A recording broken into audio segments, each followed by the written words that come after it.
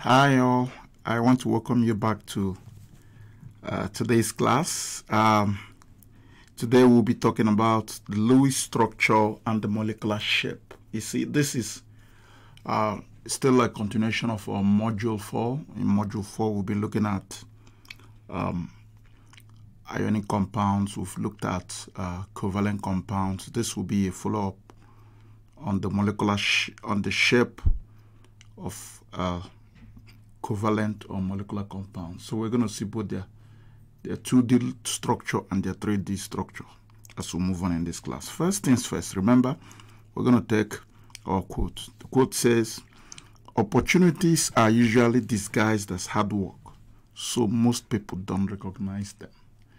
I'm not going to say much about this quote, but it is an important point of reflection. What will be our learning objective today? Two important learning objectives. We'll draw the Lewis structure or the 2D of molecules. The 2D of molecules. We'll draw the, the 2D of molecules. We call it the Lewis structure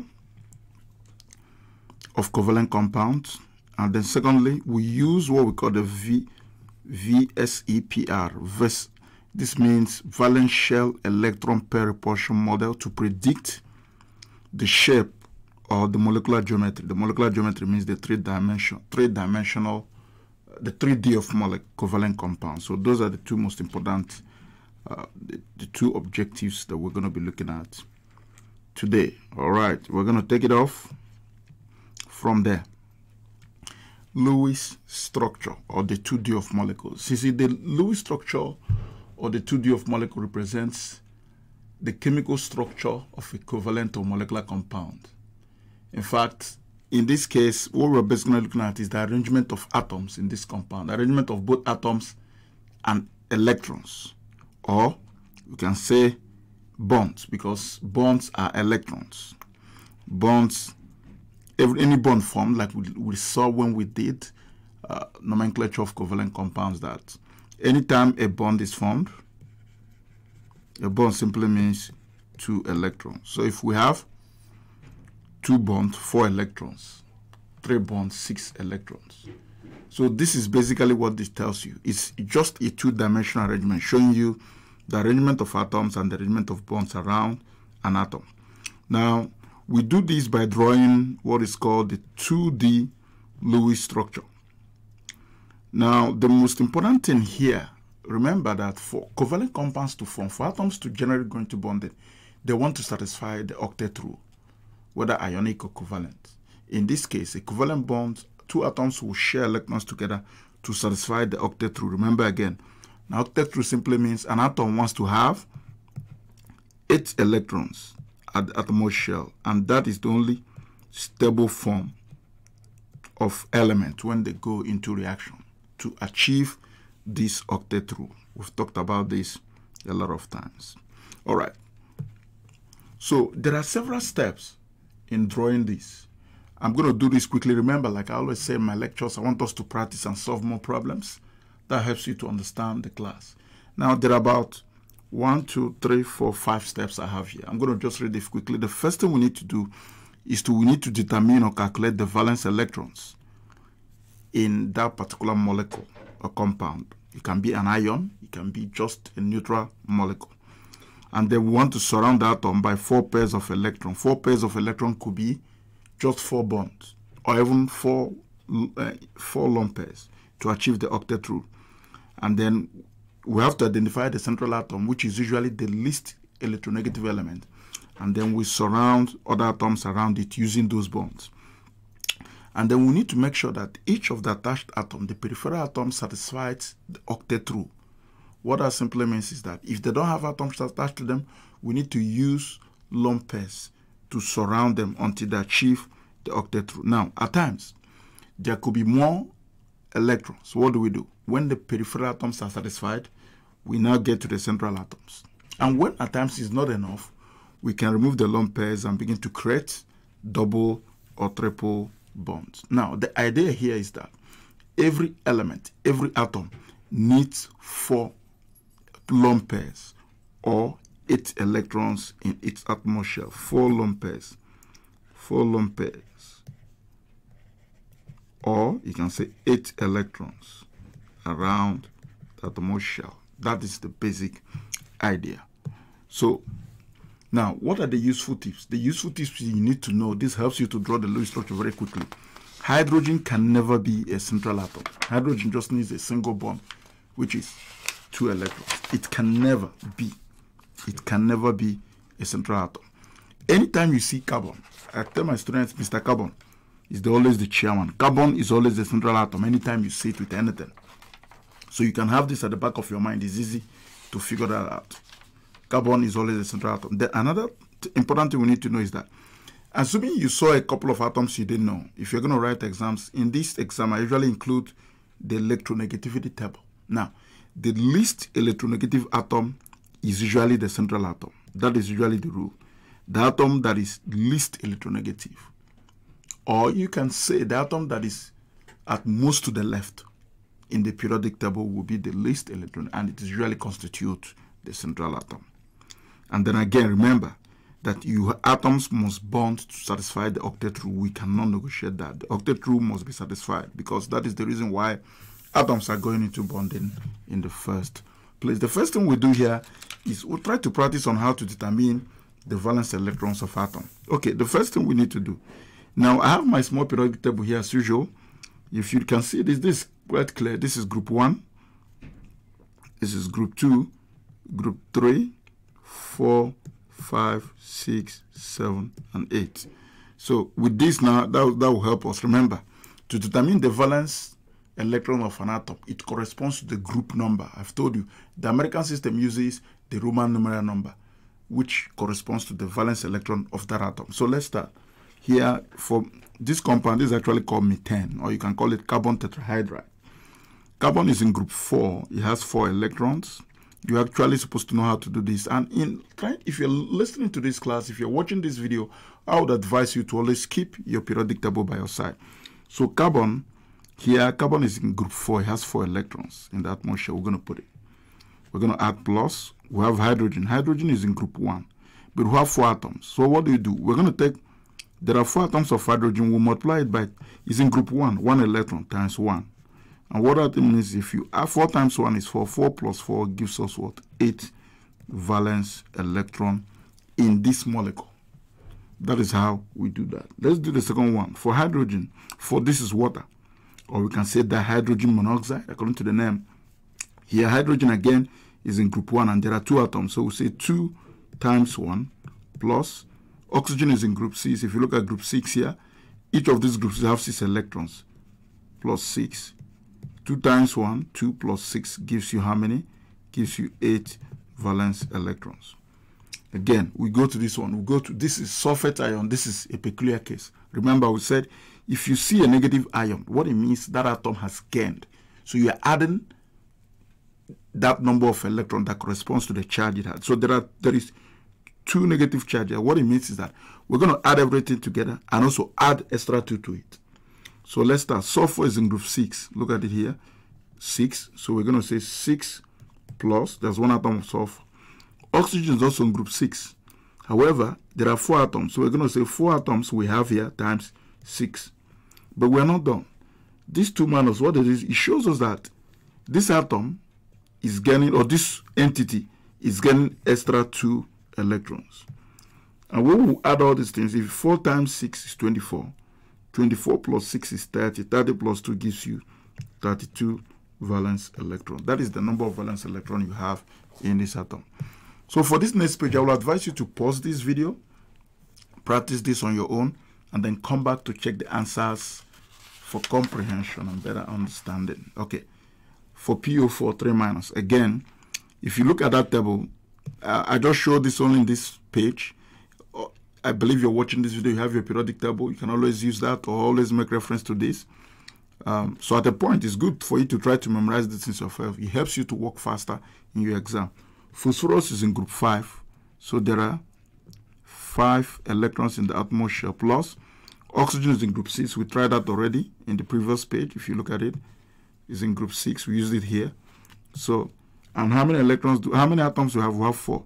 So we say 4 times 6 and now there are three minus. What that simply means is that it is getting three electrons. And when you add everything together again, It's going to give you 32 valence electrons. We go to ammonia. Ammonium ion. Ammonium ion, nitrogen is in group 5, one atom plus. Hydrogen is in group 1, but there are four atoms, so it will be 4 times 1. What does plus mean? Plus means is that it is losing an electron. So what this is plus 1. So we're simply going to say minus 1. So 4 times 1 is 4. 4 plus 5 is 9. 9 minus 1 will give us 8 valence electrons. And then we go to this one.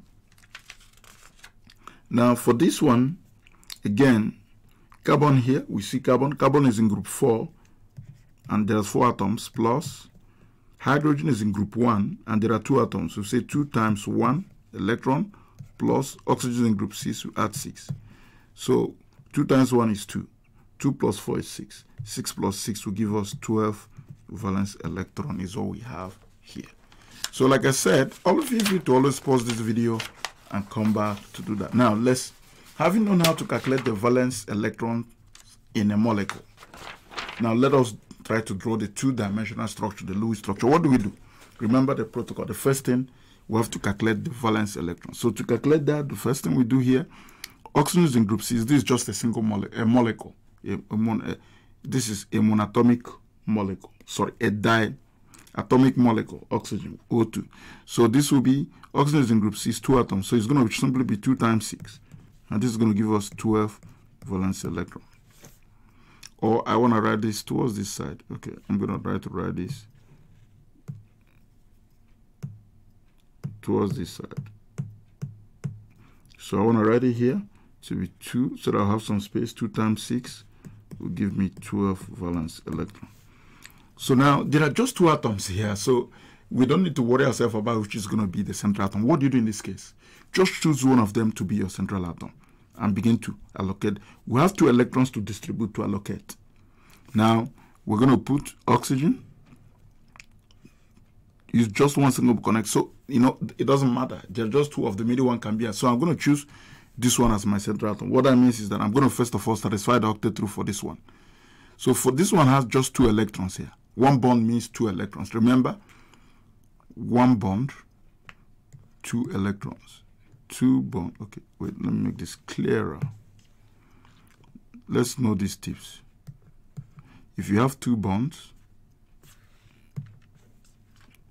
two bonds that's closer two bond means four electrons. And then three three bonds means six electrons. So it's important to you you know this kind of thought. It might help you at some point, you know, when we're doing this lecture. So now, if this is my central atom, this is now my central atom. I'm going to now begin to satisfy. So this now is my central atom. So I'm going to satisfy the octet through here. So I'm going to do, so it already has two here. I'm going to put, now, because lone pairs are at times very difficult to draw. You can draw lone pair either as a dot. Let me just show this by the side. You can draw lone pair either as your two dots or you can use one dash to, to present it. It doesn't matter. Anyone can be. So lump this or one dash. So for now, I'm going to be using just dash because this is an electronic writing. So let's start. So I have, I have, I have 12 electrons. I've only used what? Two electrons, remaining 10. So I'm going to give this one. So I'm going to say 2, 4, 6 plus this 8. This one is satisfied. So I've used 8 electrons. How many am I left? 4. So I'm going to say 8, 10, no, 2, 4, 6, 8, 10, and 12. Now, if you look at this, I've used all the electrons I have here, which is 12. But I am still not done. What remember, the basic rule is that the last rule each atom must satisfy the octet rule. So if you count the number of electrons around this guy, it is 2, 4, 6, 8. What about this one? 2, 4, 6, not satisfied. So what am I going to do? Just to be fair, I can take away something and put something. That's usually how this is done. So instead of adding and giving it 14, 14 which I don't have, that becomes an error. I'm going to try to take away one from this one and give it to this one. So look at what I'm going to do. I'm going to go, usually this is a trial and error method. I'm going to take my eraser take my light eraser, go here, and take away this bond. Look at the bond I'm going to take away. I'm going to take away one of these bonds and share it in between these two. So I'm going to share it in between them. Now they have two bonds. Let me count. If you count the number of octet through here, now this is 2. Now this is 2, 4. Wait, I just, I think I need to use it less. Okay. Now if you count it, this is 2, 4, 6, 8. I bet, I bet, I bet this is even too much more than I thought. So which one is, okay, okay, let me use this one. So this is the one that moves it. I guess I should be using this one. Okay. Oh my god, this actually moves it. Okay. Alright, I think I'm going to use my usual, the laser pointer seems to be too big. Yes, but I'm going to use it. So this means this is now 2, 4, 6, 8, 10, 12 there are 12 electrons used here. Now, each of them, how many did they get? So this gets 2, 4, 6, 8. This gets 2, 4, 6, 8. Therefore, this is the correct Lewis structure of this molecule. Why? Because you've used your 12 electrons and all of them satisfy. So that is why the true structure of oxygen is drawn and oxygen usually have two bonds. Now, let's go to the next one. HCN. Again, remember the rule. Carbon is always the central atom. But first, let's calculate the what? The valence electron. The valence electron Hydrogen is in group 1, remember, to be 1 plus. Carbon is in group 4, 1 atom plus 4 plus. Nitrogen is in group 5, 1 atom 5. If you add all of them, they will give you 10 valence electron. Again, there is carbon here. Make it easy on, on yourself. It is the least electronegative here. Not technical, since hydrogen cannot be a central atom. So between carbon and nitrogen, it is the least Carbon is the least significant. But make it easy for yourself. Carbon is always the central atom. So I'm going to put my hydrogen to this point, connect it to one bond, to carbon, connect it to this. Simple. Hydrogen is satisfied. It just takes one bond. You cannot put a lump or anything around the hydrogen. That is wrong. You cannot do that. So this is done. The two things I need to worry with is my nitrogen and my and my carbon. However, I have to satisfy the atoms that are attached. Remember, the two atoms attached here are, let me use a different color. The two atoms attached here is this and this. Those are the two atoms I have attached at this point. So what it means, I'm going to satisfy the atoms attached, the peripheral atoms first. In doing that, I'll come back to this. I'm going to attach, try to satisfy this to make to make it eight electrons in the outermost shell. So let's start for nitrogen. So I'm going to I have 10 electrons. I've used two, four. So I have six to go. So I'm going to put, oh no, I'm going to go back to red. Okay, so I'm going to say, this is two, four, six, eight. It is satisfied. Nitrogen is satisfied. It has eight electrons around it. But so let's count the total we have. We have two, four, six, eight, ten. Interesting. Two, four, six, eight, ten. We have 10 electrons already. Nitrogen is satisfied, but carbon is not. This is an unfair arrangement. So what are we going to do? I'm going to try to be fair enough. What I'm going to do is that I'm going to try to remove, I'm going to remove one bond here and try to share between the two of them. I'll go back. If I share between these two, now carbon has 246. This has 2, 4, 6, 8. Nitrogen. But still, carbon is not satisfied. What do I do again? I'm going to be fair again. I'm going to take away one more. I'm going to take away this one again. I'll take my thing again. I'm going to take away this bond and share it between the two of them again. If I share it in between the two of them again, now carbon has two, four, six, eight electrons around it. Nitrogen has two, four, six, eight, and now this is the Lewis structure of hydrogen cyanide. We'll go to the next one. You can pause the video, practice these problems, and always come back to it as usual. Let's draw the look again. We'll calculate the number of valence electrons. Nitrogen is in group 5. It will have 5 electrons plus. Bromine is in group 7. It will have 7 electrons. But how many atoms? 3 times 7. So what would that be? 3 times 7 is 21. 21 plus 5 will give us 26 valence electrons. Again, if you look at this molecule again, that makes it easier for you. You look at nitrogen and bromine.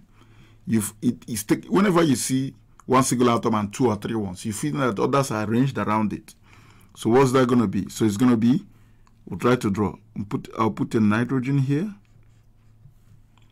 And then let me give myself some space. I'm gonna put a nitrogen and then I'm gonna put my bromine around it. So just imagine you have three things attached like a triangle for now.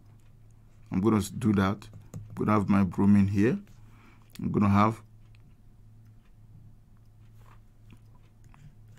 bromine.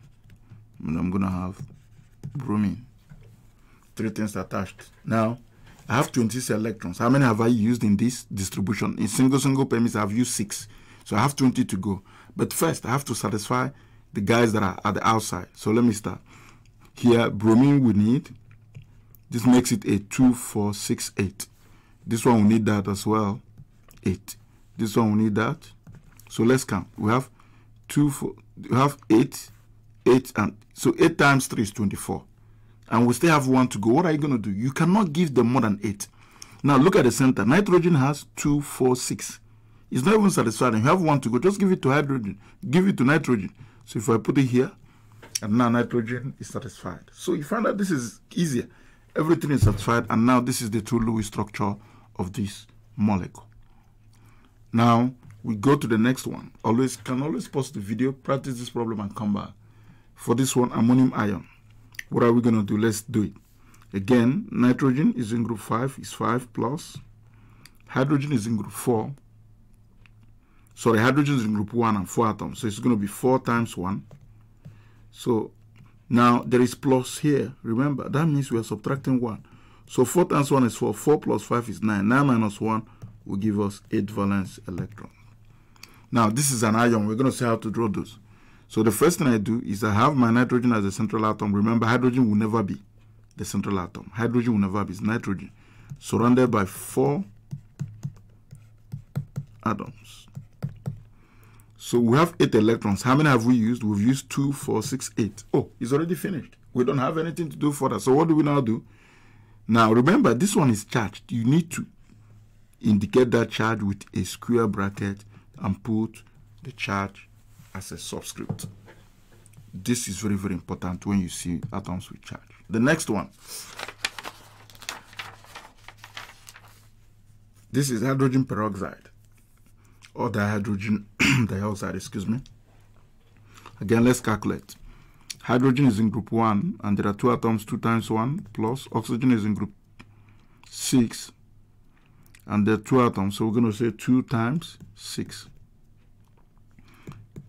So this 2 times 6 is 12. 12 plus 2 gives us 14 valence electrons. So what do we do? You try to distribute initial. Remember, hydrogen will never be at a central atom. So what this tells us is that oxygen is going to, but this time we have two oxygen that's going to be at the center. Students usually get confused about this at times. But it's usually a trial and error practice until you get it, you master how this is actually done and get used to most of these.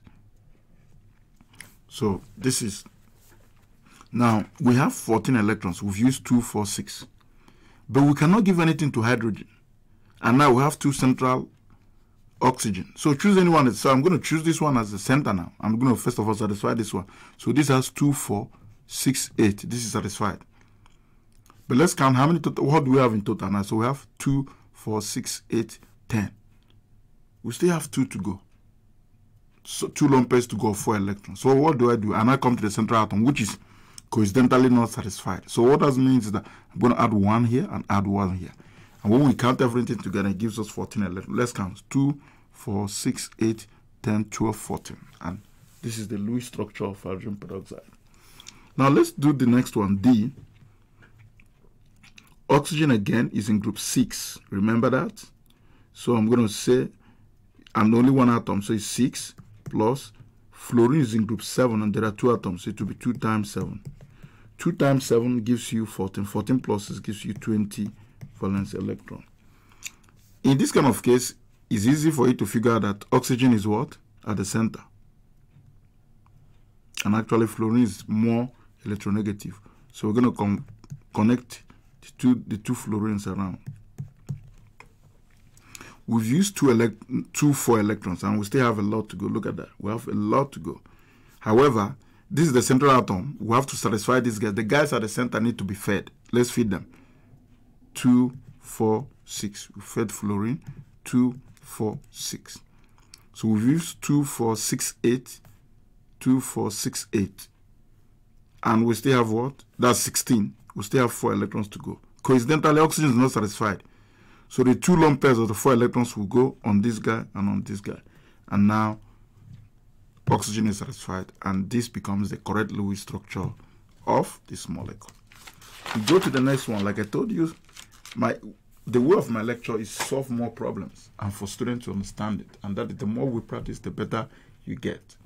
So draw the Lewis structure. Now, this kind of molecule can be a little bit challenging. This is an organic, actually this methanol is an organic molecule.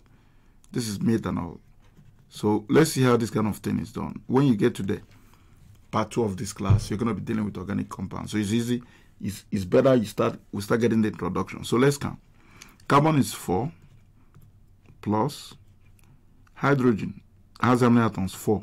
This is 3 plus 1, 4. So it's going to be 4 times 1 plus oxygen is what? 6. So this is 4 plus 4 times 1 is 4. 4 plus 4, 8. 8 plus 6 is 14 valence electrons. So what do we do? Carbon is always at the center. Remember, whenever you see it with others, it's always at the center. In this kind of molecule, you can see you can see more than one central carbon, but in this case, it doesn't matter much. Let's see. So here it's going to be. We'll put our carbon here. Put hydrogen. Remember, hydrogen one bond is okay with it. And then if you if you put hydrogen, if you put hydrogen now, you don't have any place you can put your oxygen. And you cannot have four four bonds, five bonds coming out from this. So we're going to put oxygen here. The way I just wrote this, and then this is actually called the OH group. And then you put another hydrogen here. This is the only way you can draw this. We have 14 electrons. How many have we used? Let's count. 2, 4, 6, 8, 10. Now, if you look at this, carbon is already has four bonds, which, which is equivalent to 8 electrons is satisfied. The only thing not satisfied there is oxygen because this is 2, 4. But we have two more lone pairs to go. What do we do? We now place it on oxygen and this is called, this becomes the Lewis structure of this molecule. This is actually called methanol. This one is called acetic acid or ethanoic acid, but we don't need those names. Let's just count the number of valence electrons. There are two carbons here, so we say 2 times 4 carbon, or 4 times 2, anyone can come first. Hydrogen is 4. We're going to say 4 times 1, because 1 is the valence electron of hydrogen. And oxygen is 2. Two of them, say 2 times 6. Remember, oxygen is not group 6. It has 6 electrons at the valence shell. Excuse me. And then we now add. So if you add everything together, it's going to be 24 valence electrons. So if we have this, what do we do next? We now begin to allocate our, remember, our job here is usually to allocate electrons. I tell students, my student, if you are if you are drawing Lewis structure, you are a banker, more or less. So you are allocating electrons. Let's do it. So it's going to be C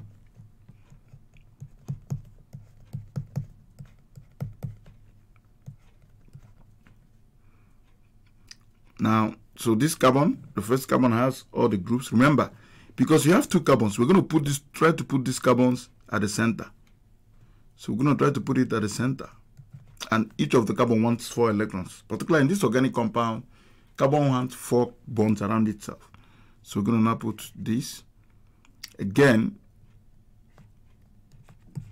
you see, looks like what we have in this one. So if you do everything together, let's count and see if we're satisfied. We have 24. So this 2, 4, 6, 2, 4, 6, 8, 10, 12, 14, 16. Are we good? Let's count again. 2, 4, 6, 8, 10, 12, 14, 16, 18, 20. Oh, something is missing. You see that? You see an error. I just saw my error now. I just made. There's another oxygen here. I didn't even account for it. So, because I have another oxygen, what am I going to do? Now, I have excess hydrogen there. It's good I picked up that. So, try to clean this very well. So, what are we going to do? Now, I have an oxygen here. So, I have another oxygen here. So, I'm going to put one here. I'm going to put one here and connect my hydrogen there. Because if I connect, if I connect it any other place, it's not going to work out. Because I have four hydrogen. If I connect it here now, that could be fine, but it's still going to lead me to some other thing. I just want to show you how this is drawn. So we now have one, two, three, four hydrogen. Now, if you count, let's see how much we have. This is 2, 4, 6, 8, 10, 12, 2, 4, 6, 8, 10, 12, 14. If you look at this, carbon is pretty satisfied except this one. But we can satisfy this one here if you satisfy this, this will now have 2, 4, 6, 8, 10, 12, 14, 16, 18. We still we still away 6. So what we're going to do, if you satisfy this one, carbon is not satisfied. And we have it complete. Let's see. So this is 2, 4, 6, 8, 10, 12, 14, 16, 18, 20, 22, 24. But carbon is not satisfied. So we can have this. What do we do? This carbon, we can make some adjustment with this carbon. What do we do? I'm going to take off this one and try to introduce a double. If I introduce a double bond between these, carbon is not satisfied. And this is the Lewis structure of acetic. Actually, this molecule is actually called acetic acid. Now, you're not going to be seeing most of these ones in exam, particularly at the level of this class. But it's important to begin to understand how this organic molecule work because how we draw the Lewis structure. This is what you're going to do in the part two of this class. Let's talk about the next thing important in Lewis structures, what we call resonance. Resonance simply tells you that it is possible for an atom to have more than one Lewis structure, and it is still correct. You know, the ones we've been drawing, we've not encountered anyone with two Lewis structure. That concept is called resonance, whereby an atom will have two Lewis structure. So let's take an example to figure that out. This is the nitrate ion. Let's calculate the valence electron. Nitrogen is in group 5, 5 electrons. Plus, oxygen is in group 6, remember. But we have how many atoms? We have 3. 3 times 6. Negative means we're adding 1. So if we add 3 times 6 is 18. 18 plus 1 is 19. 19 plus 5 will give us 24 valence electron. That's what we have here. Now, in this case, nitrogen is what? The central atom. So we're going to draw the central nitrogen. Let's do it. Let me put it here. And then I'm going to surround it with oxygen. Remember, we're going to surround it with oxygen again. And then we'll begin to allocate our, we've used just six. So let's allocate. If you satisfy this one, satisfy this one, and satisfy this one. So this is 2, 4, 6, 8. This 8 times 3, 24. Oh, that seems to be correct. We've run out of, we don't have anything left here. But nitrogen is not satisfied. What do I do? I'm going to just remove one from anywhere. So what I'm going to, I'm going to remove this one here. I'm going to remove this. And then I'm going to share this electron with Now nitrogen is satisfied. And this is the correct Lewis structure for this. So remember again, this is a molecule, you're going to put this. Now, even if it is not a molecule, in Lewis structures, you need to do this. Now, this is the correct Lewis structure for this. But interestingly, that is the only one that will not that will that is not the only Lewis structure that is possible for this compound. Why? Let's see. I can take this any of these double bond and put it here, and also move it to this place. So I want to move this from here to this point. Let's see what that gives me. So if I move it to this point, I want to just have a square bracket first. So I'm going to have a nitrogen here. I'm going to have O here. No, remember I want to move it to up. So I'm going to have, I'm going to try to get this out of this. So I'm going to move this. I'm going to remove this. If I move this double bond, so the possibility of this is because this double bond can move around.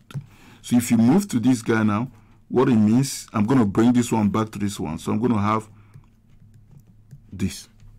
And then this one also will remain as it is. Now, this is another resonance for this molecule. But like I said, the resonance structure is taken to be the average. Let me underline that the average of all the resonance structures. Because what is actually happening here is that electrons are actually moving. This actually represents electron moving in between this bond. So I'm going to have another one. Can I have another, the third one? Try to make my space to be okay. So again, I'm going to have nitrogen here. So what it means is that I'm not going to have a single bond here. I'm going to have a single bond here. And then I'm going to move the double bond here. And this is actually another Lewis structure. So you find that this molecule has three equivalent Lewis structures, which are taken actually to be one, an average of all of them. And that is exactly what's going to happen in the next one. Let's look at it. Selenium is in group 6, 6 electrons. We're going to add plus. Oxygen is also in group 6. And there are three atoms, 3 times 6. If you add everything together, if you say 3 times 6 is 18, 18 plus 6 will still give you 24 valence electron. So again, we start. Selenium, we now try to put oxygen around it. Now we've used 6. If you try to satisfy this guy, all, you find out that this now 8, 8, 8, 24. But you still have balance.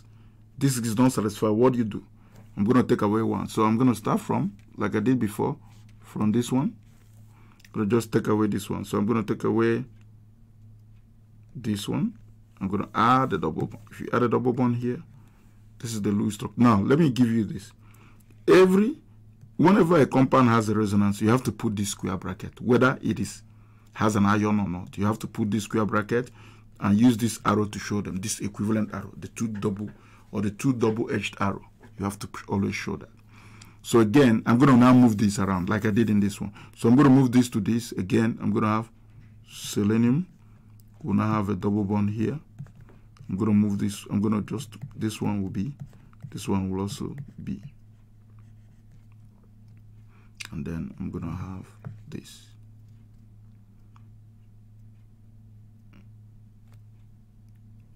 Why did I put, I don't know why I did that. I think there is no charge here. You're not supposed to put charge. Now, you use a square bracket for this, whether it has a charge or not. That is the rule in drawing the Lewis structure for molecules that exhibit resonance. Again, the last one, I'm not going to move this to this side. So again, I have my selenium here. Now this is going to be single. Excuse me. this is going to be single. And the double bond is going to be here.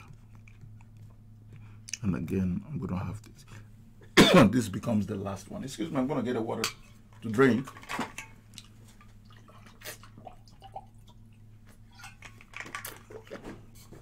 The air around here seems to be a little bit dry in Yakima, you know, recently. Right, so this is how you can do it. So I will advise you to pause to try the next one on the next page. The next one we have on the next page is similar to what we've just done. It's just for you to pause the video, try it yourself again. Both of them have to. So again, if you add everything here, 4 plus, oxygen is 6, and it has 3, 3 times 6. And then remember, this is negative 2. Simply means we're going to add extra 2. If you add everything together, it's going to give you 24 valence electrons. And carbon, like we said, is always at the center, right? So I'm going to try to put my square bracket earlier so that it's going to help me to conserve the space. so carbon will be at the center. I'm going to satisfy carbon with added to the oxygens. Excuse me. Now, what do I do? And I now try to I have 24 electrons. If you again, if I satisfy like the ones we did before was 24. If I give it this is 8, this 8, this 8, it becomes 24 and this will be satisfied. So eventually it's going to look like the other one. So, so it's exactly like the one we did. Why I put this thing is just for you to practice it. Just for your practice. Exactly like the two we did before. So I'm going to move these double bonds. So I'm going to move this double bond then see. This will now be a single bond. It, this will now be a double bond. There's also a single bond. And the last one, you're going to move it again. So it here, moved here. I'm going to move it to the one to the right. So it's going to be carbon. This one will be single this time. This one will be single. And then I'm going to give it to this guy. This one will be this. And then you still put your two minus. So this is the three Lewis structures for this because it has if it has three atoms, that tells you it's going to have three Lewis structures. Now look at this one. This one is different. This one has two two atoms. So a possibility of evolution will only be two. So let's see. So this nitrogen is in group five plus oxygen is in group six, but there are two atoms. So it's two times six. Negative means plus one. If you add all these things together, this is two times six is twelve. 12 plus 5 is 17. 17 plus 1 is 18 valence electron. Again, these two nitrogen, of course, will tell you will be at the center. So let's put nitrogen at the center here. We add it to oxygen on both sides. Then we have 18 electrons we've used two. So let's try to satisfy this. Now satisfy this. So this is 8, right? Yeah, we have eight, 18 electrons. So let's see what we have. So we have 8, 2, 4, 6, 8, 2, 4, 6, 8. That's 16. So 16 remaining 1, 18. Yeah, with 18 electrons. But if you look at this, nitrogen is not satisfied. It's still missing two electrons. One lone pair or one dash, whichever way you want to write it.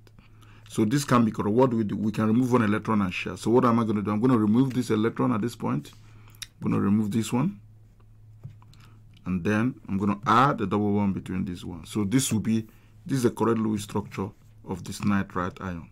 This is the first Lewis. However, I can move this double bond between these two. Look at this double bond can move this way. So if you move to the second one, I'm going to just have O here. Uh -huh, my O. If I move it this way, the double bond will go this way. I'm going to only have two lone pairs. And this one is not going to have the three lone pairs around it. And again, I put my square bracket. So this is the Lewis structure for this molecule. Like I said, you can always pause the video, come back and watch it again, and then practice all the questions. So now we're going to be moving to the next thing, which will be the last part of this lecture, what we call the molecular geometry, or the 3D of molecules. See, what we've just been talking about in the Lewis structure is just the two-dimensional. We're not giving any chance of saying how does this look in actually in the three-dimensional space because we use 2D to understand 3D and we live in a three-dimensional world. So we use a theory, a theory called the VSEPR model. The VSEPR model simply means valence shell electron pair repulsion theory. Now, it is based on the fact that mutual repulsion of electron pairs is what determines the actual shape of molecule. So what is that telling us is that, okay, assuming I have an, a central atom X and I have a bond attached to, let's say, A and attached to A. Now, if there are no lone pairs on this atom, this will be the shape of this atom. No lone pairs. This is the shape, like a linear. What if I have a, a, a lone pair on it? Okay, if I have a lone pair on it here, remember, a lone pair simply means two electrons again. What that simply means is that this electron, let me use a different color, has the ability to push these bonds away from itself. Remember this, like times repel this is an electron, this is an electron. When they come close, they're going to push. So it pushes it out, and that power it uses in pushing it out will make this bond to change and become something like this. Look, let me draw with a different color now. So it will bend it. Let's see how much it's going to bend it. Because lone has a lot of power to bend something. It's going to bend this molecule to a new shape. Where, and this will actually be how this molecule will, will occur in the real three dimension. So what is simply telling us is that electrons will always push away each other. And that maximum push will determine what the final structure of the molecule will look like in the two in the three-dimensional world. So what that simply means is that you have to figure out which one is the central atom. So any central atom, any central atom is any atom or molecule that is bonded to two or more atoms. It has to be two or more atoms. And if we apply this theory, we can easily predict just the actual shape of molecule, what the shape of molecule looks like in real nature. So we don't have to use X-ray crystallography to look at the shape of this molecule. We just use this theoretical model to predict the actual shape of molecules. Now, how, what are the important tips we need to know about this is that all valence electron pairs around the central atoms are counted equally. What it means is that an atom, whether you have double or two or triple bond, they are counted as one. So assuming I have something like this now, in VSEPR model, if I have this to A, and I have X to A, the shape of this molecule is the same thing. Why? Because in this molecule, there are two things attached, two A's attached. Here, there are two A's. So now I'm counting this bond as one. It doesn't matter whether it is triple or double bond. You just count the number of attachments. Don't count the number of bonds. That is not that doesn't matter because this is the three dimension. Again, the double or the triple or triple bond are treated like I said, they are treated like a single pair of electrons when predicting these shapes. Now, the most important thing now, the electron pair geometry, or what we call the, the electron pair geometry, the EPG name, I call it the two-dimensional name, will only differ from the 3D's name, molecular geometry name, if there is what? A lone pair. Remember this thing I showed you here? If there's a lone pair. Remember what I showed you? I showed you this. It is only when there's a lone pair that the shape changes and the name changes. If there's no lone pair, it remains the same. We're going to apply this. So this my flow chart helps you to figure out that. If I give you a molecule and say predict the shape, the first thing you do, you draw the Lewis structure, which is the 2D. You move from the 2D and say what is the electron geometry name or electron pair geometry. You can call it electron pair geometry, it doesn't matter. You say what is the EPG. So electron pair geometry, EPG or EG, it doesn't matter. And from the electron pair geometry name, you can tell what is the molecular geometry or the molecular structure, which we call the molecular geometry name. So this is the sequence. You draw the 2D, you say what the EPG is, and from there you say what is the molecular geometry. And there is a table that explains this. Now, there are four dif three different electron arrangements at the level of this class. Three possible electron arrangements you can see. When there are two, if you have a central atom, and there are two things attached to it, so assuming I have a central atom, let me put it this way, okay, I didn't show my central atom here. Assuming I have a central atom at this point. Good. And I have two stuff attached to it. I have this and this. It's a linear molecule. That is the electron geometry or electron pair geometry name. That's the first one. If I have, okay, assuming this is my central atom now, here. And I have three things attached to it that makes it look like a triangle. It is a trigonal planar. And if I have another mole, if I have four atoms attached to something, now this is like a 3D where you have four things. Okay, I'm going to put this one this way. You have this X, X, X, and X. Now, you are assuming that one of these guys goes backward. This one is the one that is pointing away from you and pointing into the board. So anything that has four attachments is a three-dimensional. So actually, we'll try to draw it this way. Let me show you. Now, the one, if this, this is the one that goes up, which is this one I have here. Let me put it. So let me use another color to show my central atom. Let me just use this red to show my central atom. Now, the one that is going away from me, going to the back, is I'm not seeing it because this is three-dimensional. I use what is called the the dash line to represent that. So I'm going to use dash line to show this is going into the board or going away from you, or you can say going into your book. And then the one you can see coming close to you is shown with a strong thick line. And the one you can see to your right goes this way. So we actually call this the thick wedge. This is the dash line. So the dash is something that is going away from you. The thick wedge is coming towards you. And these two are the ones you can see at your plane, in the plane of your eye. So that is what we represent in tetrahedra. So when anything has that four attachment, it's going to have that this three-dimensional shape. Of course, both a linear a line and triangle are plan, planar molecule. But a tetrahedral structure is actually what? Is a three-dimensional molecule. So the most important, you need to memorize this table. This is called the VSEPR model table. The table tells you, oh, sorry, my bad, tells you what you need to know about uh, about uh, all the things I've been talking about. Now let's look at it. The first tells you the number of atoms. Here gives you the number of lone. In fact, in the, I made up this table. In fact, here I have to use two dots as my lone pair for you to understand it. Excuse me again. I need to get some more water here.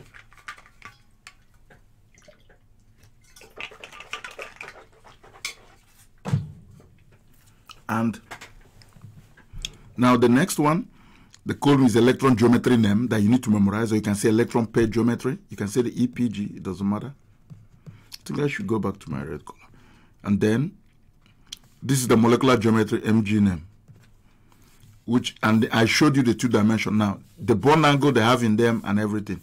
So let's start. When there are around the central atom, when there are two things attached to it, look at what it looks like.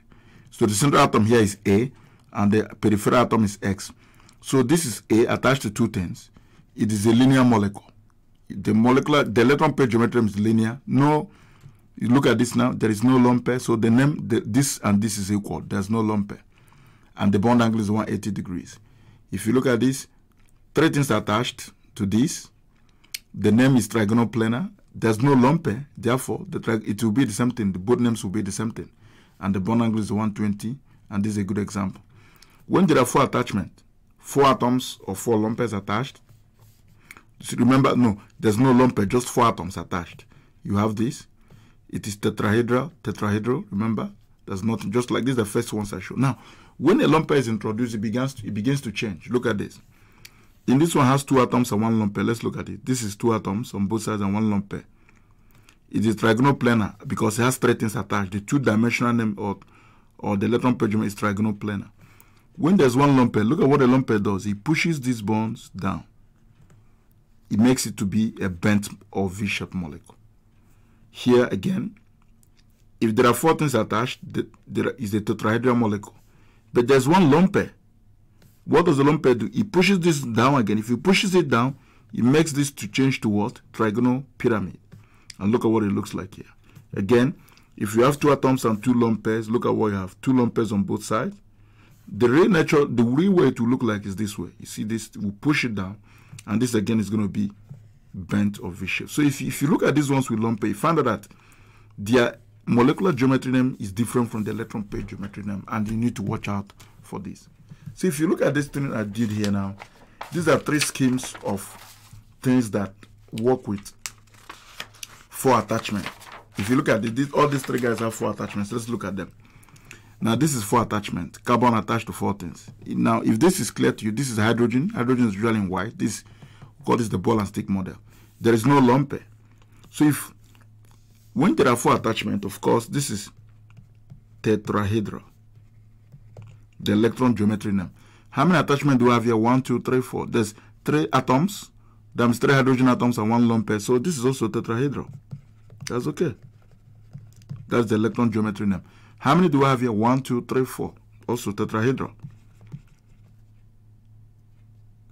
Because there are here there are two atoms and two lone pairs. Now remember what I told you about this structure. It begins to change. All of them have total of four attachments. But now the first one, four attachment, no lone pair, so the name is going to be the same thing. So if I go back here, there's no lone pair, so the name will be the same thing, tetrahedral. If I come here, there's one lone. Let's look at it, what it will look like. Let's go back. If you look at this page, there are four total attachments. One of them is a lone. So it's tetrahedral for what's the molecular geometry name? Trigonal pyramid. So this will be a trigonal pyramid because of that lone there. Again, let's go back. There are total total of four attachments, but there are two lone. This is a lone. Two lone here. These two lone and two attachments. Let's go and see. Here, total of four attachments. Two lone pairs, two attachments. It's tetrahedral EPG. The MG is going to be bent or V-shaped. We go back. So this is going to be bent or V-shaped. So this actually represents the three dimensional name. This is actually the two dimensional name. So this is how these molecules will look. So we're going to understand this more by the time we begin to draw and solve the problems we have moving forward. So the question says, we're getting close to this lecture. I know it's a long lecture, and this is a very important concept you need to understand if you're going to be successful in the next class of this series. Now, let's first of all start our usual way. Carbon has four electrons, plus oxygen, six electrons in the valence shell is in group six, and there are two of them. If you add everything together, it's going to give you 16 valence electrons. So we're going to try to draw the 2D Lewis structure. Let's. So here, carbon has two attachments there are two atoms attached to carbon, but we have six electrons. We've only used two. So let's satisfy this. We put this here, put this 8, 2, 4, 6, 8, 10, 12, 14, 16. Oh, it's, we've exhausted our electrons, but something is missing. Carbon is not satisfied. Again, you go back and begin to reappropriate it. I'm going to take away this one and add a double bond. It still needs one more. What am I going to do? I'm still going to go back again take away this one and do, do what again? Add a double bond. So this becomes the Lewis structure. Now let's see. What important? Do we have a Lewis structure here? No. What it means is that the EPG name it says we should find the EPG so the electron pair geometry name is going to be so the electron pair geometry EPG is going to be linear. Linear it doesn't have a lone pair so no need to even redraw it so Okay, let me redraw it for. The, remember, we said in doing this thing, we count every bond as one. So I'm, I'm not going to bother to. And you don't have to put the lone pairs on the central, on the peripheral atoms. In drawing the three-dimensional model, you don't have to put the lone pair on the peripheral atom. So I'm not going to put the lone pairs, and I'm going to use count the bond as one. So here, carbon is attached to two things. Now, there's no lone pair, so it's going to remain linear. However, what is the bond angle? What is the bond angle? the bond angle will be 180. So I'm going to say the bond angle will be 180 degrees. And this is all contained in this table, which you need to memorize by practice. Okay, you need to memorize it by practice. Let's look at this one. GE. GE is germanium is in group 4. So what it means is going to have 4 electrons. Plus bromine is in group 7. It's going to have 7 electrons. And how many do we have? We have 4 of them. So 4 times 7 is 28. 28 plus 4 will give us 32 valence electrons. So what do I do? I'm drawing the 2D first. So I'm going to say germanium has 4 attachments. So I'm going to say bromine attached here, bromine attached here. bromine. Now, first I have to satisfy the peripheral atom. So I'm going to give this guy 3 lone pairs so let's count. This is 8, 8, 8, 8. 8 times 4 is 32. We're satisfied. Now, is germanium satisfied? 2, 4, 6, 8. Germanium is satisfied coincidentally. So we've arrived at what we want. Germanium is satisfied. Bromine is satisfied. This is the Lewis structure. Now, we don't have a lone pair, so it's easy. The EPG and the MG is going to be the same thing. It's easy for us. So the EPG is going to be, there are four attachments to this germanium central atom, so it's going to be tetrahedral. And then it's not going to change. The name is not going to change. However, since we have four attachments, this can look like a 3D. So I'm going to draw the 3D. So for the 3D, I'm going to have, you don't need to put a long pairs here when you're drawing the 3D.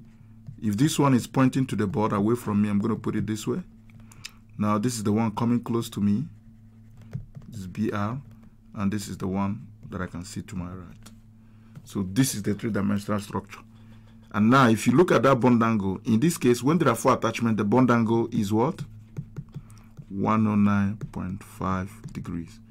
And this name is not going to change. It will remain a tetrahedral molecule for the molecular geometry. So both the EPG and the MG is the same thing. We go to the next one, where they're a little bit different.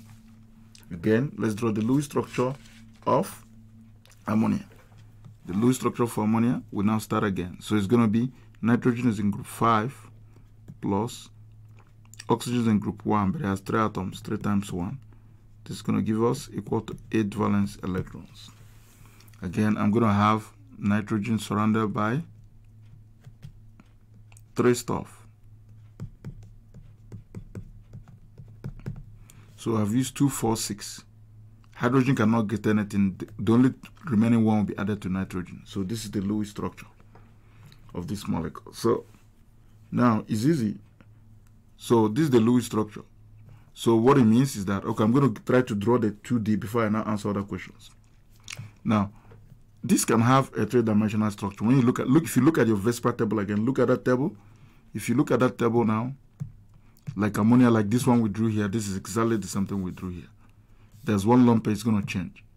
So it's going to be nitrogen has one lump This lump is going to change this thing into now a bond. Okay, no, I'm going to put, I like putting the one up. This bond, like a pyramid, is pointing away from me. This hydrogen. This one is pointing close to me, towards me, and this one is the line I can see. So this is a, a pyramid. So what it means is that the EPG will be the EPG is determined by the number of attachment. This tetrahedral. And then the molecular geometry will be trigonal planar. And then what is the bond angle? Bond angle is determined by the total number of attachment. So the total number of attachment here is 4. So the bond angle is going to give us 109.5 degrees. Again, all this, we got it from this table. You got to look at it. This is it here. This is it. The bond angle is 105.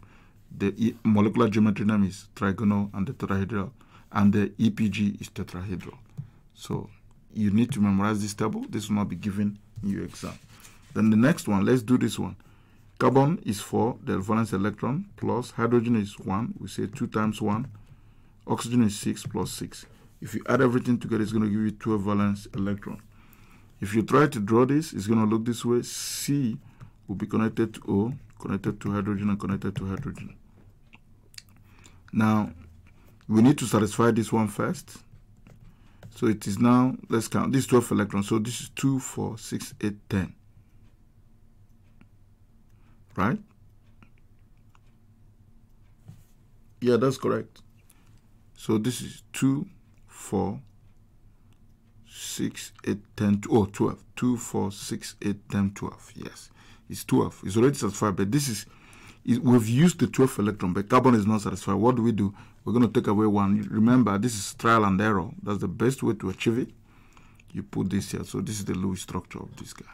Again, there's no pair what it means, this looks like three attachment, it looks like a triangle. So if we're going to draw the 2D, just going to look this way. C, O, H to H. When there are three attachment, is a triangle. So the EPG name will be a trigonal. Oh, I made a mistake. Trigonal planar. I just see the mistake I made now the molecular geometry, there's no pair. It's going to be exactly the same thing. Trigonal, planar, is not going to change. And then the bond angle, when there are three attachments, the bond angle is going to give us 120 degrees. Again, if you look at the table, let's see. There are three attachments and zero lone pair. Look at it. Three attachments, let's see. No, three attachments, trigonal planar, trigonal planar, 120 degrees. So this is trigonal pyramid, please. I, I just saw that now. Sorry for, sorry though. Sorry, my bad. This is a trigonal pyramid. I just saw that. I was surprised. I just was looking. I don't know how I even saw it. That would have been costly, costly of a mistake. So this is trigonal pyramid. That's what we have there. So moving on again to the next problem.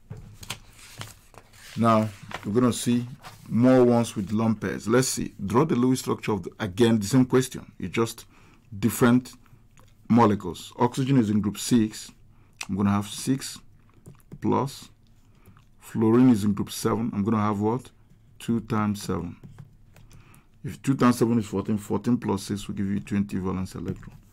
Again, oxygen should be the central atom. So I'm going to say O. I'm going to put F on both sides. I should give myself some space there. That's too close to this. So I'm going to give myself, okay, F and F.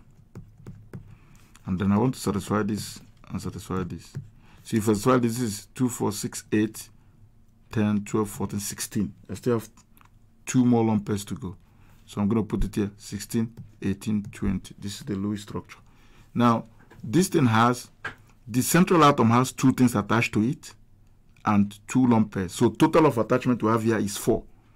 Since it's four things attached to it, the EPG name is going to be tetrahedral.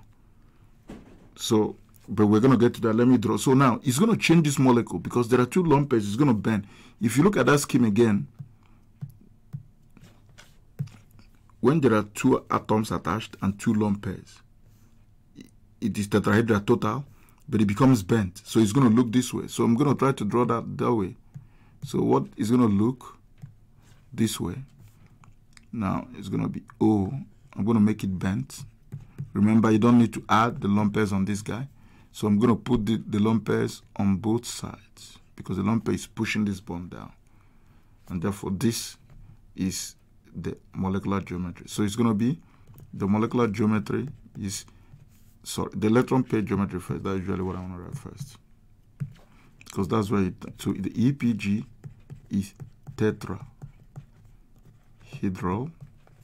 The molecular geometry will be bent. You're going to look at that scheme, and the bond angle will give you. There are four attachments, so the total bond angle, the bond angle is always constant 1.5 109.5 degrees. We get to this one. Now this one again, we count the number of. So this is 5. Ox nitrogen is 5 plus oxygen is what? 6. And 2 times 6, we have negative 1. That means we're going to add 1. If you add everything, it gives you 18 valence electrons. Again, we draw our nitrogen is at the center. Add 2 oxygen. So I'm just going to do this stretch. We've drawn this before. I'm going to show you what, it, this is the one I drew earlier. So I'm going to show you what it looks like directly. This is what the Lewis structure will look like. That means it has two attachments. Nitrogen has two attachments, two oxygen, and one lone pair. So what that simply means is that the, the, the, the 3D name is going to change. The molecular geometry is going to change. So what it means, we're going to get, in the real sense, what we're going to have is nitrogen we have this and this is going to bend the bond. So if you look at this again, let's go to our table as usual.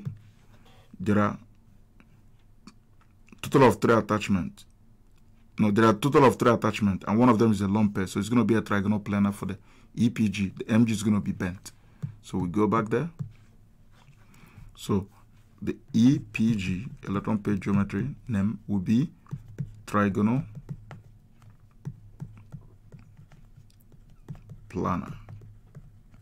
And then the molecular geometry name, you look at it, it looks bent. So this is a bent.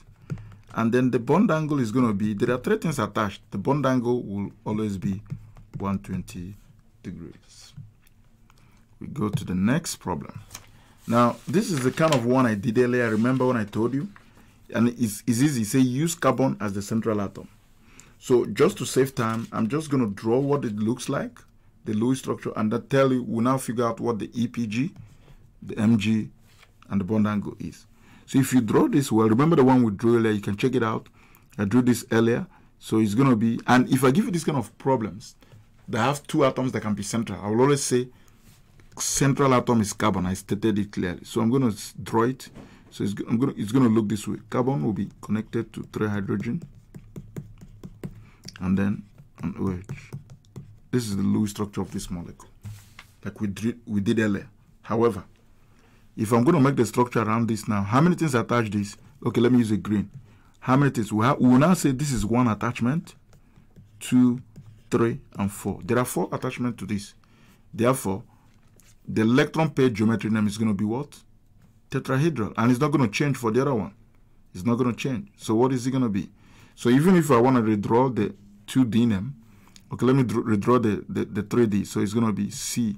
If I put this one as the one I'm seeing, uh, the one pointing away from me, another hydrogen is pointing away from me, then this one is coming close to me, and then I can see this one.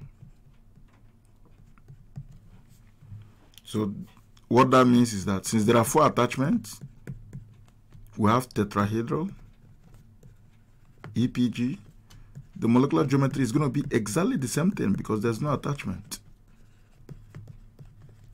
And then the bond angle, there are four, four things attached. The bond angle will give us 109.5 degrees. So this is exactly what it's going to give us. And then let's do this one, AS. So this one is new. We're going to draw it. We're going to count the number of arsenic is in group 5. So it's going to be 5 plus iodine. Iodine is in group 7. So it's going to be 3 times 7. So 3 times 7 is 14. 14, 3 times 7 is 21. 21 plus 5 will give me 26 valence electron. So arsenic is going to be at the center. So I'm going to have AS connected to I, I, three I's. I have 20, I've used 6, so I'm going to try to satisfy these guys. So what does that, this leaves me with 8, 2, this is 8, 8, 8, 8 times 3 is 25. I still have one more pair. I can't add it anywhere than this guy. So it has one pair. What it means is that the EPG name is going to be different from the MG name. So if you have this, you have to have memorized it by now so far with practicing. The, the total attachment is 4. So we're going to have how many?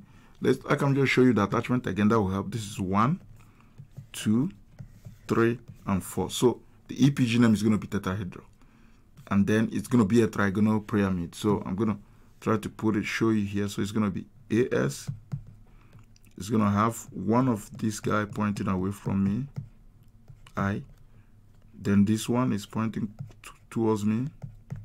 And this one I can see easily. Then I put my pair. Remember, you don't need to show the lone pairs of the peripheral atoms. So what does it do? Look at your table again. I'm not going to refer to it. The electron pair geometry tells you for attachment is tetrahedral. The molecular geometry tells you what? What does it look like? It actually, the 3D structure is this guy. This is what this is the 3D. This is how it looks like. Remember, this is the 2D. This is the 3D. So the 3D tells us that it looks like a trigonal pyramid. Looks like a trigonal pyramid. And then the bond angle, since there are total of four attachments, the bond angle is always 109.5 degrees. And we get back to the last but not the least uh, of these problems, BRCN. We've not done anything like this, so we're going to try to draw it. So let's see. BRCN. And again, I want to let you know, I have a full lab dedicated for this. So we're going to practice this in the lab as well. You watch the video over and over and try to practice this. Like I said, you can pause this video, solve these problems, and always come back to check your answer. So again, bromine is in group 7, 7 electrons in the shell. Carbon is in group 4, plus nitrogen is in group 5. 7 plus 4 is 11, 11 plus 5 is 16 valence electron. Again, carbon is always at the center, so we put it there. Carbon will be connected to nitrogen, will be connected to bromine. We have 16 electrons. Let's satisfy these guys. We'll satisfy this one first. Satisfy this one. So let's see. We have 2, 4, 6, 8, 10, 12, 14, 16. But carbon is no near from being satisfied. No near from being satisfied. Now I want to give you a secret. When, particularly when you see this kind of thing, these molecules like bromine, all of them usually don't accept a lot of pairs. The guy that accept the lone eh, pair, that accept sorry triple bond is usually nitrogen. That's why nitrogen has always have a triple bond around it. So let's see if that works in this case. So I'm going to take off one of these guy and add a pair so that they, they're going to share equitably. Now carbon is not satisfied again. What am I going to do? I'm going to take away another one. I'm going to take away another one take away another one from here and then share another so you see now carbon has 2468 is satisfied and everybody is satisfied here. So this is the Lewis structure. This is the two-dimensional structure. Now this carbon has how many attachments? Let me show you how many attachments. It has one and two attachments.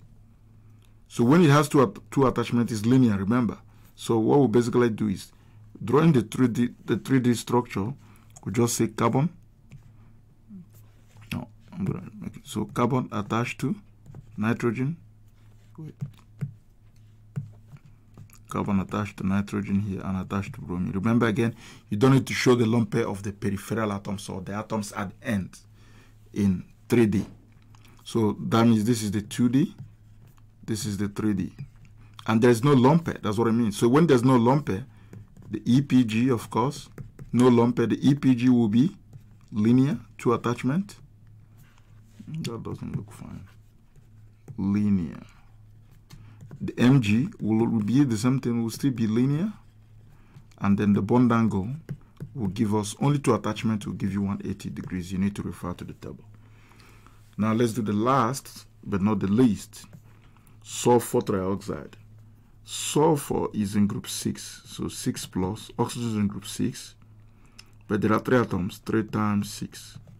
3 times is 18. 18 plus 6 will give me 24 valence electron. Again, what do I do? I put my sulfur here at the center connected to oxygen.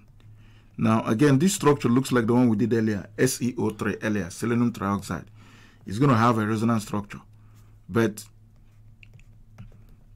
in doing this, you just choose one of the resonance structure. In trying to figure out the electron pair geometry molecular geometry name, if it's a molecule that has a resonance structure, just choose one. So what are we going to do? Let's count. If you count, this is 8. 8, 8, 8 times 3 is 24, which is satisfied. But sulfur is not satisfied. We can do better than this. What can we do? We try to take, a, we take away one of these and make sulfur to share with oxygen. And now this is the correct Lewis structure for this. So if you look at this now, there is no pair attached to this. There's no pair attached to it. So that helps us to make it easy because the EPG will be the same. So if you want to draw the 3D, this is of course the 2D. The 3D will be just, remember, just use single bonds for the 3D. The interest is on the central atom, no, no lone pair. So what it means is that the EPG, the electron pair geometry, three attachments tells you there are three things. I told you earlier, it is called trigonal planar. You need to memorize that table. It's part of your responsibility to memorize that table. The molecular geometry, there's no attachment. It doesn't change. So it's going to give us what? The same thing. Trigonal planar. And then the bond angle will be, when there are three attachment, the bond angle will always be 120 degrees. So you need to memorize all this stuff. Now, I'll advise you to always pause this video at intervals, practice this and come back. I know it's a long video, but by the time we do this in the lab and practice more and more, you're going to get used to this. Once again, we've come to the end of this lecture section once again. Thank you for listening. If you do have questions, you know the usual channel to contact me. Uh, thank you for listening, and I will see you next time.